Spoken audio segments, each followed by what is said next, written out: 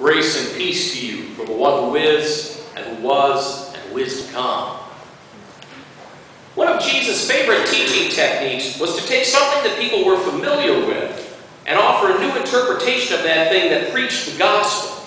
God's promise that healing, redemption, and life will always have the final word. He did this when he healed. He did this when he told parables. And he did this when he would say to people, You have heard it said, and then go on, but I am telling you.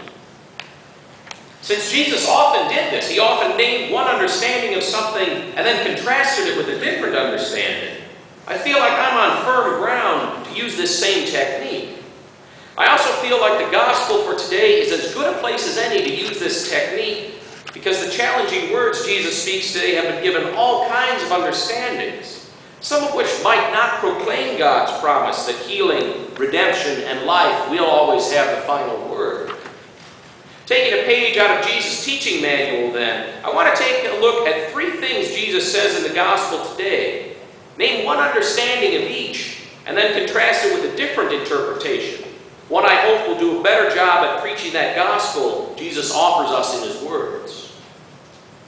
When Jesus asked the disciples who they said he was, Peter said Jesus was the Messiah, the anointed Savior that God had promised to send. Jesus didn't deny that he was the Messiah, but he explained that he was a different Messiah than they were probably expecting. He began to teach them that the Son of Man must undergo great suffering and be rejected by the elders, the chief priests, and the scribes and be killed, and after three days rise again. You have heard it said, Jesus must suffer and die to pay the debt we owe to God because of our sin. But I am telling you that Jesus suffers and dies so God knows without a doubt what it will take to redeem us and to reclaim us as His own people. You have heard it said by theologians who are far more respected than I am that human sin, the brokenness that we bring into the world with us, creates a debt that we owe to God. We can't pay. So Jesus, God's own Son, dies to settle our bill. But I am telling you, this notion sells God short. This idea relies on believing that God is bound by some sort of logic or law that limits how God can redeem the creation he loves so much. If we affirm that God's only option in the face of our debt is to sacrifice Jesus' life to settle a bill, it robs God of the power to forgive that debt as a free gift given out of love. In other words, saying that God has to be repaid somehow, no matter what, robs God of grace. But I am telling you that Jesus suffers and dies because he has become fully human, and as human beings, all of us suffer and die. Through living this human experience of suffering in Jesus, God truly understands our suffering knows without a doubt what it will take to offer us those promises of forgiveness, new life now, and resurrection life that's to come. The gospel in these challenging words is that Jesus, that in Jesus, God experiences the depth of human suffering and the reality of death on the cross so that God can fully know the depth of our need for His grace and His healing. Jesus goes on, and he talks about the path of suffering that lays ahead of him. When he does, Peter takes Jesus aside and begins to lay into him for saying that this is what it means to be the Messiah. Jesus calls Peter Satan because Peter is tempting him with other ideas of what it means to be the Messiah. Jesus then tells the crowd, if any want to become my followers, let them deny themselves and take up their cross and follow me. You have heard it said, taking up your cross means resigning yourself to the suffering that life sends your way. But I am telling you that taking up the cross is a consequence of responding in love to the suffering of others. Jesus has spent his whole ministry so far relieving the suffering that life has sent people's way. I don't buy the idea that Jesus suddenly turns around and tells people to sit back and resign themselves to suffering that happens in the course of our lives or our neighbors' lives. The same Jesus who sends his disciples to heal the sick, feed the hungry, and embrace the outcast is not suddenly giving permission to turn a blind eye to suffering under the pretense that it's just his cross to bear. You have heard it said that a calamity we suffer is a cross. You have heard it said that our sorrow is a cross, that your shortcomings are a cross. You may have even heard it said, that's just your cross to bear, by the person who's allowing or even causing you to suffer. But I am telling you that none of these things are the cross. Because taking up the cross means being prepared to suffer because you have responded in love to the suffering of others. Jesus doesn't take up the cross because his pain and suffering themselves save us. He takes up the cross because the cross is a broken world's judgment on him for loving people the world refuses to love. Jesus is not calling all of us who follow him to seek out more suffering just for the sake of suffering.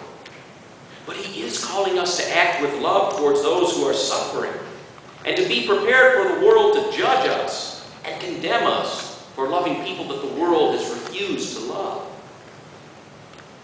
The gospel, in these challenging words that Jesus speaks, is that Jesus knew how the world would treat him for showing us God's mercy and God's love.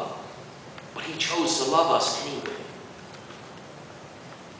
Jesus concludes what he has to say to us this morning by telling us, Those who are ashamed of me and my words in this adulterous and sinful generation, of them, of them the Son of Man will also be ashamed when he comes in the glory of his Father with the holy angels. You have heard it said, you need to be bold in proclaiming Jesus and his words to prove that you're not ashamed of him. But I am telling you, great start to be bold in proclaiming Jesus and his words. But Jesus is also calling us not to be ashamed of people who suffer like he did. Jesus' words about not being ashamed of him are made even more difficult to understand by something else Jesus says in the gospel today. Right after Peter names Jesus as the Messiah, Jesus sternly ordered them not to tell anyone about him. This seems like the exact opposite of what Jesus is telling us when he says not to be ashamed of him. Jesus wants to keep the truth that he is the Messiah a secret, at least in this point in his ministry. Jesus doesn't want people telling the world about him until after his death and resurrection, because he wants people to tell the world the whole story. If people tell the world about Jesus before he dies and rises again, they might tell the world that the Messiah is a top-notch teacher a marvelous miracle worker, or an excellent exorcist. Jesus is all these things, but above and beyond any of these identities, Jesus is our crucified Savior. So maybe Jesus' words about being ashamed have to do with the challenge of not just saying someone is a Messiah, but of living as disciples of a crucified Savior. Does looking at Jesus when he's crucified someone suffering so much and so publicly, someone who has been made into an outcast on that cross, does this trigger our sense of shame? Does it make us want to look away and not have anything to do with it? Maybe Jesus is saying that if we feel shame, if we're embarrassed or disgusted when we look at a crucified Savior, we'll probably look with embarrassment and shame at anyone else who is suffering or an outcast. Jesus here is preaching sympathy, solidarity, and service to those who are suffering and those who are outcasts. Following a crucified Savior is a call to embrace those people who trigger our sense of shame, to turn towards the people we might want to look away from. Yesterday morning, so many of us came together and turned towards people who are hungry, serving with Pack Away Hunger. We turned towards people who are desperate and suffering, when we give to the mission of the month. We turn towards children who may feel like outcasts when we partner with Campagna Academy throughout the year. The gospel in these challenging words is that in Jesus, in our crucified Savior, God chooses to turn towards us instead of being ashamed of us. You have heard it said, Jesus talking about suffering and taking up the cross and being ashamed are hard words to hear. But I am telling you that even though these are hard words to hear, they still preach the gospel. God's promise that healing redemption, and new life will always have the final word. I am telling you that Jesus speaks of his suffering because it's the way God knows without a doubt what it will take to redeem us and reclaim us as his own people. I am telling you that Jesus talks about taking up the cross because he knew how the world would treat, uh, treat him for showing us God's love, and he chose to love us anyway. And I am telling you that Jesus speaks of being ashamed of him, so we remember that he is never ashamed of us. Thanks be to God.